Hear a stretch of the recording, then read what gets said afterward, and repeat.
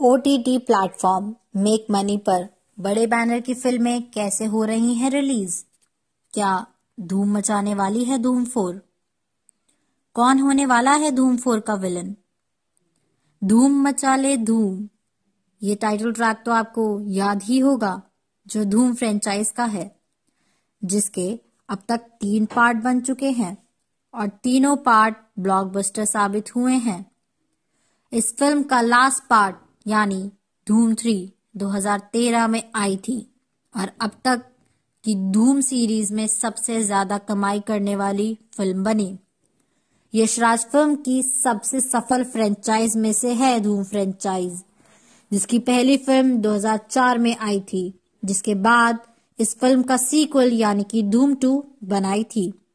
इन दोनों फ़िल्मों को ब्लॉकबस्टर साबित होने के बाद 2013 में फिर इसका तीसरा भाग पर्दे पर देखने को मिला, यानी कि धूम थ्री, जिसमें अभिनेता आमिर खान जी ने डबल रोल निभाया था और इनकी हीरोइन थी अभिनेत्री कैटरीना कैफ। अब खबर सामने आई है कि इस फ़िल्म के अगले पार्ट पर भी तैयारियाँ चल रही हैं।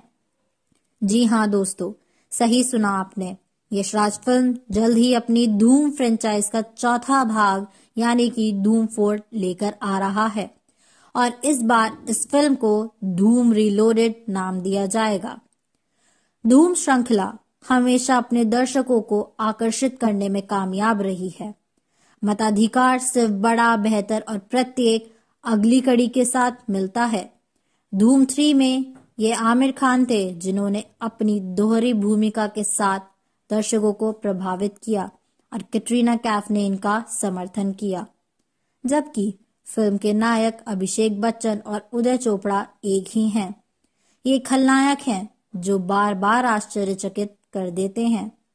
तो अब जब श्रृंखला की एक चौथी फ़िल्म पाइपलाइन में है, कंगना रनौत ने सिल्वर स्क्रीन पर और उससे दूर खुद को एक बहुत मज़बूत और राय वाली अभिनेत्रा के रूप में स्थापित किया है। क्वीन और तनु वेट्स मनु रिटर्न्स जैसी फ़िल्मों में उनका अभिनय उनके टैलेंट के बारे में बोलता है। अभिनेत्री को क्रिश थ्री में उनके ग्रे किरदार के लिए भी सहारा गया था। कंगना, धूम फोर की टीम के लिए एक बेहतरीन चॉइस हो सकती है। इस फ़िल्म के साथ कंगना उन बारीकियों का पता लगा सकती हैं, जो हर धूम गर्ल की खासियत है। ग्लैमर फ़िल्म उद्योग की प्रेरक शक्ति है। और कौन है सनी लियोन से बेहतर? मनोरंजन का मंत्र। अडल फ़िल्म स्टार एक्ट्रेस ने इंडस्ट्री में अपने लिए जगह बनाई है। खलनायक के रूप में एक महिला होने से फ़िल्म के आश्चर्य तत्व में इजाफा होगा। अभिनेत्री निश्चित रूप से धूम चार के कलाकारों के लिए एक अच्छा जोड़ देंगी। इसके अलावा एक बार के लिए जय दीक्षित और अली फ़िल्म में पीछा करने के लिए कुछ आश्चर्यचकित कर सकते हैं। जब देश कोरोना वायरस प्रकोप द्वारा लगाए गए लॉकडाउन में चला गया तो सभी प्रमुख उद्योगों को एक बड़ी असफलता का सामना करना पड़ा। लेकिन जैसे जैसे अनलॉक की प्रक्रिया शुरू हुई, हमने देखा कि व्यवसाय संचालन फिर से शुरू हो गया और धीरे धीरे पूरे नए प्रोटोकॉल के साथ वापस ट्रैक पर आ रहा है। जब फ़िल्म और टीवी उद्योगों की बात करें तो महाराष्ट्र सरकार और Indian Motion Pictures Production Association जैसे निकाय शूटिंग शुरू करने के लिए शर्तों पर बातचीत कर रहे हैं। हाल ही में आईएमपीपीए ने राज्य सरकार के दिशा निर्देशकों के खिलाफ बॉम्बे हाई कोर्ट का दरवाज़ा खटखटाया, जिसमें अभिनेताओं, तकनीशियनों और अन्य व्यक्तियों को पैंसठ या उससे अधिक आयु वर्ग के होने पर काम में भाग लेने से रोक दिया गया है। कोविड के बाद की दुनिया में शूटिंग के अलावा हम हर दूसरे सप्ताह में नई फ़िल्मों को ऑनलाइन देख रहे हैं। अमिताभ बच्चन और आयुष्मान खुराना, स्टारर गुलाबो सिताबो और विद्या बालन की शकुंतला देवी जैसे बड़े बजट वालों ने भी ओटीटी रिलीज़ देखी है।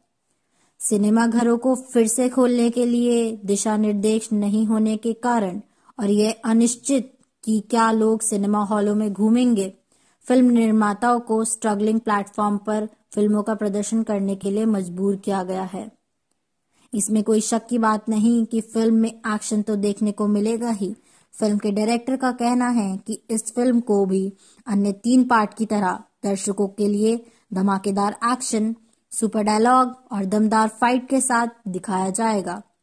सूत्रों के अनुसार, ये भी पता चला है कि फ़िल्म के निर्देशक ये भी चाहते हैं कि फ़िल्म में चोर के किरदार में अभिनेता अक्षय कुमार भी नज़र आए।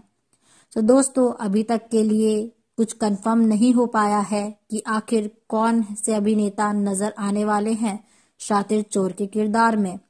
मूवी की आगे डिटेल्स जानने के लिए अगली वीडियो का वेट करें और बॉलीग्राज स्टूडियो से जुड़े रहिए।